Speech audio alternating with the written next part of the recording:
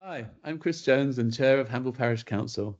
This is the first of some short videos that we're planning to produce to keep, keep you up to date with what we're doing in the, in the Hamble Parish Council. We had our July council meeting last week, and I'm delighted to tell you that our council is now back up to full strength.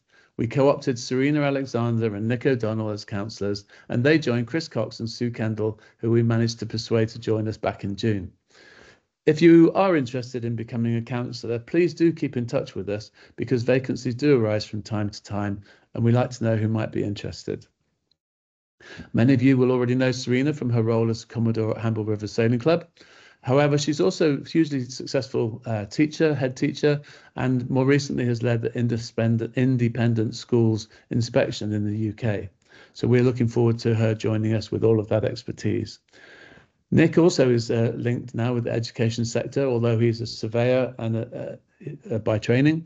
He works for King's College in London and looks after their huge estates um, that um, they have there. He's keen to add to the council to uh, help us with our larger projects, such as Mount Pleasant and the neighbourhood plan that we hope to do. And um, he's a keen Foxer sailor, so um, I'm sure some of you will know all about that. Turning to community matters, we're pleased to report that all is going well with the plans for the Hamble Valley Regatta. This is a historic regatta that's been held in the Hamble River for, for decades, and we have photographs going right back until um, the early 20th century. So um, it, it, we're very proud that it's in actually based in Hamble this year. Uh, if you missed the July newsletter, the regatta is going to be held on the foreshore Saturday the 7th and 8th of September. There's lots of fun events and as well as uh, racing and uh, other water-based activities going on. So please put that in your diary.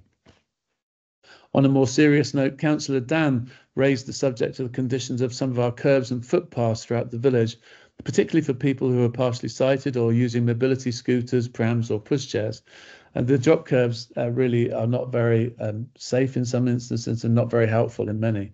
The council decided that we should really work on this and we would like you to join in and give us any feedback or information about your experiences with curbs and footpaths and drop curves in particular. Helen R. Clark and Councillor Nicholson updated us on the recruitment for the team that looks after Hamble and keeps Hamble in the wonderful condition that we love and know. We have two new starters coming in the, in the next few weeks. Uh, one will be helping out in a mark on the grounds team, and we'll also be getting someone to provide a bit more help with administration in the office. So look out for more information about that in a future newsletter. Um, finally, Councillor Moody updated us on the Mount Pleasant Playground project. Over the coming days, we will be sending out our invitation to tender and getting ideas back from potential contractors um, for an upgrade and refurbishment of the play area next to the primary school.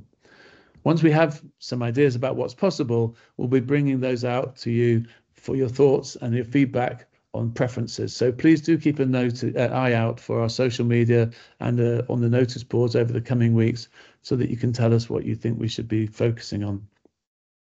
The council doesn't have a meeting in August, so our next meeting will be on the 9th of September at 7 p.m. at the Roy Underdown Pavilion as usual. Uh, so everyone welcome. And in the meantime, I hope you all have a great summer.